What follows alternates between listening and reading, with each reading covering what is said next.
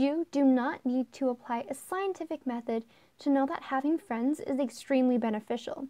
Besides the developmental benefits, having friends opens the pathway for emotional support, from making each other laugh to consoling each other through hard times. Emotional exchange is the foundation of a good friendship. However, there are some friendships where one person gives while the other person takes. Not surprisingly, bad friendships are quite common. A simple Google search using the term bad friends quickly generates to 324 million results. From published articles to sporty t shirts, the acknowledgement and commonality of bad friendships is obvious. While not condoning different kinds of friendships, here are some ways to recognize if you are in a toxic relationship, either the taker or giver, and how to change it. While searching the web, the three of the most common types of bad friends are the unaware.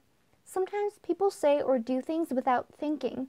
Other times, people treat others badly because they grew up in a household that taught them misinformed ways. As a result, some people are unaware that they are bad friends simply because they don't know any better.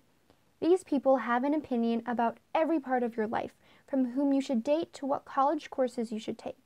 The unaware believes that they are being a good friend because they have taken the time to analyze your life for you.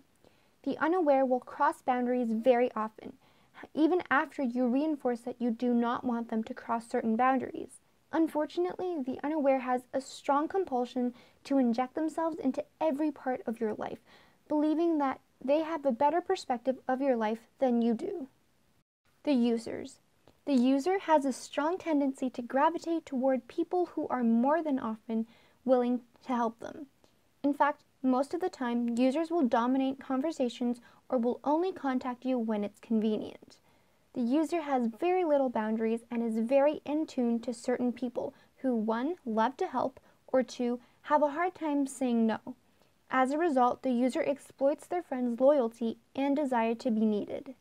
The fakers. Fakers are the most toxic friends you can have, simply because the entire friendship is reliant on their personal gain. Fakers have a tendency of having an overly inflated ego with a fragile sense of self. As such, fakers garner friendships with people who they deem less than themselves. For example, a faker will befriend someone who they deem to be less attractive than them to draw more attention from others. Fakers have no boundaries and will become defensive if you call them out on their malicious behavior. In the end, befriending a faker is toxic and can result in negative emotional turmoil. Of the three types of bad friends mentioned, the unaware are the only people that you may want to consider keeping as friends. The users and fakers, however, are emotionally toxic relationships that need to be severed. Severing a friendship can sometimes be arduous, and similar to a breakup, severing a friendship requires one to be direct. If at all possible, try to meet face to face in a neutral location. Use this as an opportunity to set or reinforce your boundaries with an unaware friend so that you two can remain friends. For your friend who is either a user or a faker, this is your opportunity to let them know that you no longer see them as a friend and that this is the last time you will be spending time together. You can tell them how you have been hurt by certain situations, but do not be surprised if the user or the faker does not respond sympathetically or with remorse.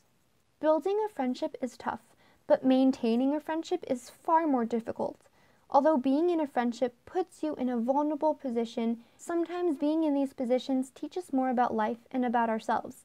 However, if you are going to take the chance of being vulnerable with another person, please make sure that that person respects and reciprocates that vulnerability.